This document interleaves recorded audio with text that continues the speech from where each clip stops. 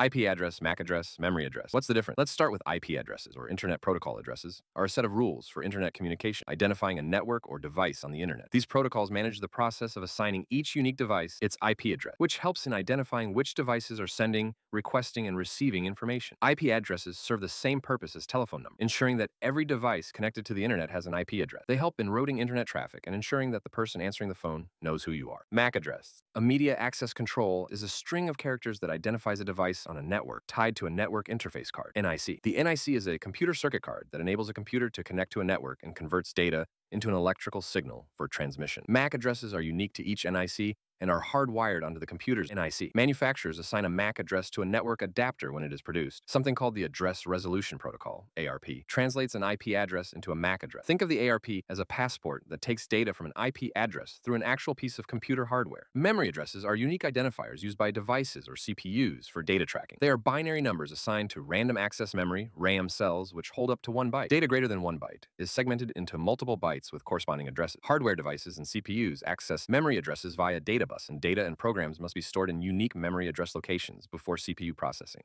To sum up, IP address identifies a device on the internet or a local network. MAC address identifies different devices using the same local network. Memory address reference to a specific memory location used at various levels by software and hardware.